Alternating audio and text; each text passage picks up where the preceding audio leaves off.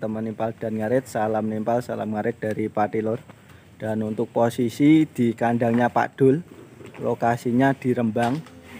Seperti janji saya di video sebelumnya yang mereview rumputnya itu yang menggiurkan uh, suweger lor sukete. Rumputnya itu loh hijau royo-royo wah bikin kepengen. Kita langsung review buat sapi-sapi peliharaan Pak Dul. Pakannya seperti apa dan untuk kandangnya juga seperti apa. Nanti kita tanya-tanya Pak Dul. Ikuti terus videonya. Jangan lupa subscribe like dan komennya.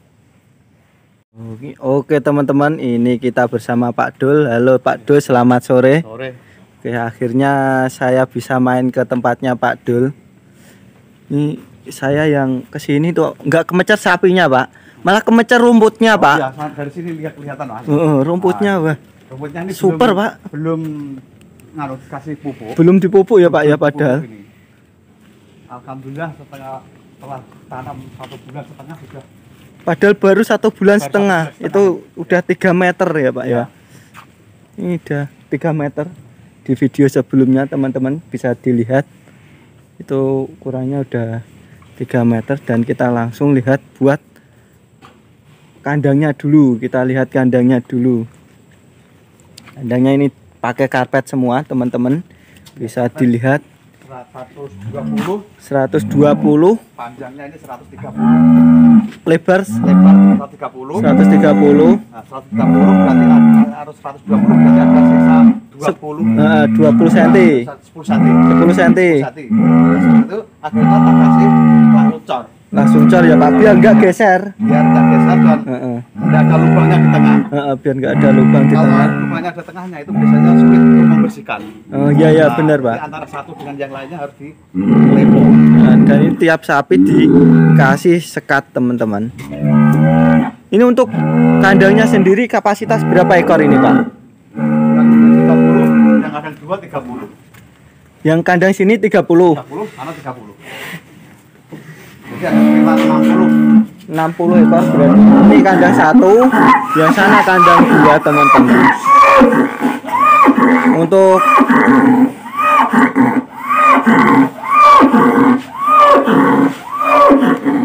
jadi berhadap-hadapan sapinya. Untuk kandangnya. Sapinya sendiri berhadap-hadapan ya pak? Kalau kalau buat itu agak lebar karena nanti bisa lewat angkong, Angkong, Nah, nah, itu. buat dulu pertama saya buat enggak enggak lebar kurang lebar kurang lebar ini lebar berapa ini pak jaraknya sini sama sini 130 berapa kelihatan Ya 130 ya Pak ya. Ya. Antara 130 teman-teman buat jarak ini, jarak antar tempat pakannya. Jadi kalau mau bawa-bawa barang enak, nggak terlalu sempit teman-teman. Kalau mau buat ini yang yang bunder aja yang Heeh. ini Kenapa Pak? Ah, kemarin kan Kalau tempatku kan memang bunder dulu. Ya, kalau bunder akhirnya kan mudah untuk Bersihin, Bersihin, ya ya. Pak ya. Ya. Tinggal puter gitu udah bersih ya Pak. Ini untuk tempat pakannya ya teman-teman. Untuk tempat pakannya langsung long ini, langsung nggak ada sekat. Jadi mudah pembersihan. Pembersihan juga mudah.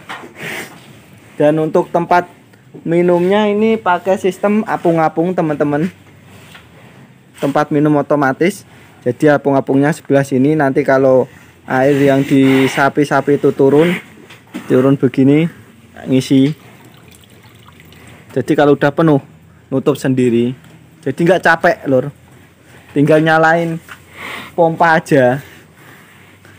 Nggak usah capek-capek ngisi air terus, ngisi air terus. Ini di kandang udah diisi berapa ekor ini pak? ini 30 30 sama itu kurang dua Berarti 42 eh, 43 ya Pak ya?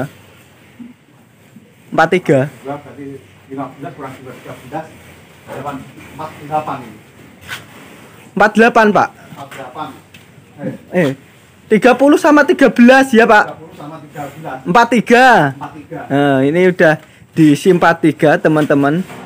Untuk dengan kapasitas 43 ekor ini ABK-nya berapa orang Pak? ya ABK yang kerawat. Yang rawat dua. Dua orang ya Pak ya yang kerawat. Jadi satu tiga puluh satu orang, tiga puluh satu orang. Mm-mm. Ini rencananya 60 ekor yang kerawat dua orang. Dua orang. Hmm, berarti satu orang dapat jatah 30 ekor teman-teman. Ekor. Baik hijauan ngasih hijauan, ngasih makan, nimpal, bersihin kotoran, Kotoran. mandiin juga teman-teman.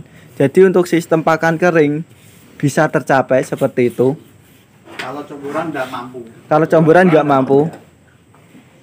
Tapi ya itu tadi adaptasinya perlu adaptasi ya Pak ya untuk sapinya. Paling lama satu minggu. Pak. Paling lama satu minggu ya Pak ya. Alhamdulillah yang baru datang begitu nyampe sini Langsung sudah langsung Udah mau ya Pak. mau. Tuh lor. Hijauannya lor. Uh, bikin kepengen. Gede-gede banget itu buat itu yang Kalau tunasnya. Udah tahu itu memang pacong. Oh, kok pacong kok Ah, Pak? kayak Pacong memang. Itu enggak pacong itu. Enggak. Gajian Yang biasa. Pacong saya taruh di sana. Malah Hmm. motornya enggak begitu. Kurang bagus ya Pak ya. Bagus ini ya Pak ya malah. Su- Rumput Lampung paling ini Pak. Hmm. Bibitnya kan dari dari kandang di Sale, Kanjang lama ya Pak ya. kandang lama. Heeh. Ini untuk pakannya sendiri langsung Habis dicampur di sini. Baru baru baru baru, satu minggu aja sudah habis ini. Mm-mm, udah satu Udah lahap baru udah lahap ya Pak ya makannya satu minggu ini teman-teman. Yang penting kakinya, kalau kakinya bagus, saya kira apa Pertumbuhannya ya bagus lah Pak ya. langsung mau makan.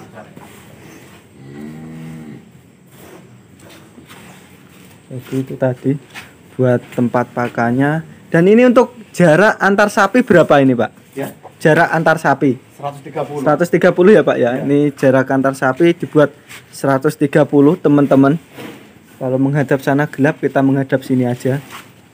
Ini jarak antar sapinya 130. Lumayan adem ya Pak ya no kene. Iya. Padahal Rembang koyoke panas kok Pak. Anu musim hujan lah. Heeh. Ini untuk tingginya, tingginya berapa ini Pak? Apa nih? Tinggi atap. Di atas setengah 3 meter kurang, 290 nggak ada kap. Kurang lebih 3 meter ya Pak ya tinggi atap. Nggak lebih tinggi ya. Kan biasanya kalau lebih tinggi lebih adem Pak. Ya, lebih adem. Tapi kalau ada Angin. angin apa puting beliung atau angin kencang gitu, Heeh, atapnya airnya, airnya masuk. airnya masuk ya Pak ya. Kalau lagi hujan angin gitu atapnya masuk dan di sebelah sana juga ada sapi Madura lor. Jarang-jarang ini. Orang sini pelihara sapi Madura. Kita lihat kebanyakan sapi-sapi pegon ya Pak ya. Pegon. Hmm. Oke siap ini prospek los besok besaran bisa ke sini aku lor. Oke, siap.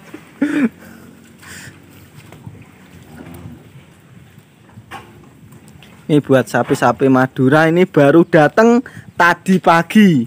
Spesial ini lor. Ya.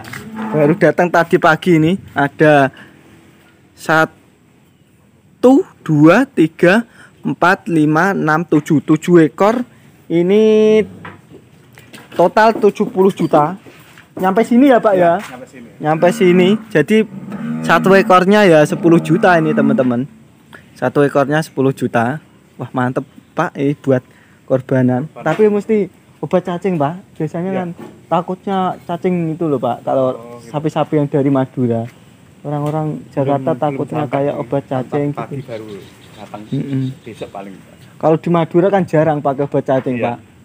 Jarang di sana Pak. Paling jamu-jamu biasa gitu. Ini paling nggak nyampe besaran sudah keluar nih. Enggak nyampe besaran Pak. Nggak besar. Jadi Idul Fitri paling sudah keluar. Loh, Idul Fitri tidak lagi cilik-cilik Pak. Ya tiga bulan. Hmm. Saya yakin nanti tiga bulan jenengan ke sini pasti sudah beda lah. Heeh, besok Nah, satu bulan lah Pak, satu bulan ke sini lagi lihat. bulan nggak, Pak? Mas Didik itu Heeh, rumputnya pasti udah habis ini sudah habis. satu bulan. Lah besok kalau sini habis.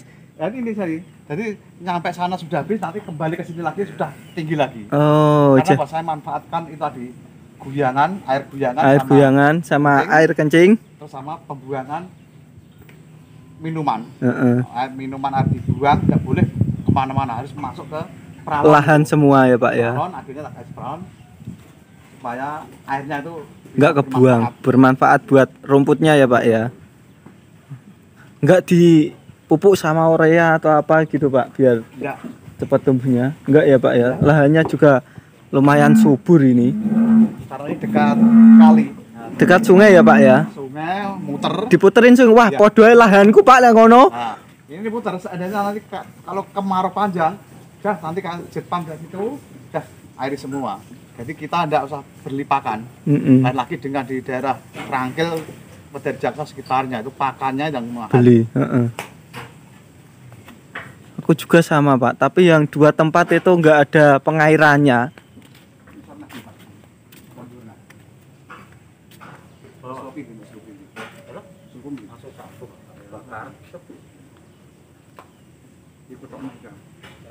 Wah serba bisa ini lor ABK nya Iya. ya bikin yang kerawat sapi ya.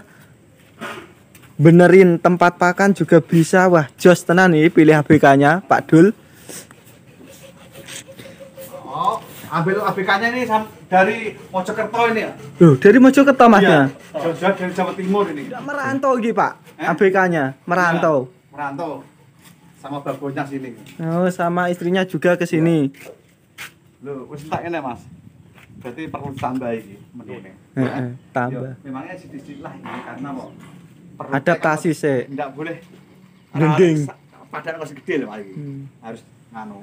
Ya, jadi Telung ceduk ora apa-apa, Mas. mm-mm, jadi ini Pak Dul juga sering ngontrol juga ngarahin ABK nya biar pertumbuhannya juga bagus. Kita besok satu bulan kita ke sini lagi Oke, teman-teman buat lihat perkembangannya ini. Bagi teman-teman yang mau tanya-tanya buat konstruksinya Pak Dul nanti bisa saya jawab lewat komen teman-teman. Ini yang belum terisi seperti ini. Ini cuma pakai besi di cor gitu aja ya Pak ya Palang. Pak, Bawahnya dikasih palang Oh. baru dicor. Nah itu. Dulu kan saya pakai cor-coran besi. Heeh. Tapi tidak kuat, padahal Nggak kuat. Semua. malah kuat ini ya Pak Ini ini besi anti naiyang. besi anti tak yang Tower bekas tower. Heeh. Di di apa? Rosok itu belinya saya. belinya dirosok malah Pak Dirosok, Ya. tapi kayaknya kok Nah, kuat ya Pak ya dirosok ini juga dirosok ini. Mm-mm.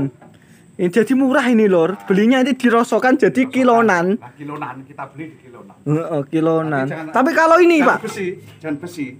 Ini nganu, ini tipis sekali ini. Heeh. Kalau Tapi nggak apa-apa Pak. Tidak di Klem. dengan ini nganu rawan non. Rawan pelengkung. Tapi nggak apa-apa ini Pak. Soalnya kan jaraknya Iya. udah pendek. Jarang lah Pak kalau sampai melengkung kalau jarak segini. Kandang yang salah itu besar bekas minyak. Mm-mm. Satu satunya 400 atau 600 ribu. Kalau ini cuma 200 ya. Tipis sekali. Tipis. Tapi biarpun tipis kalau jaraknya deket ini minimal lebih kuat lah teman-teman. Kan ini coba. Mm-mm. Kalau dua sapi di cuma dikasih satu tiang itu biasanya gampang pelengkung teman-teman. Oh lihat ini belakang. Ini yang belum ada sapinya ya teman-teman kita review buat lantainya. Oh lantainya. Lantainya ini langsung karpet. Karpetnya langsung diapit sama cor. Ini. Jadi nggak geser-geser karpetnya, langsung paten ini loh. Karpetnya langsung paten. Dipaku dulu, Pak. Oh iya, Re. Dibaut ini, Lor. Oh, ini. Dibaut juga. Depan dua, belakang dua. Biar gak geser, teman-teman. Wah, super ini kandangnya istimewa.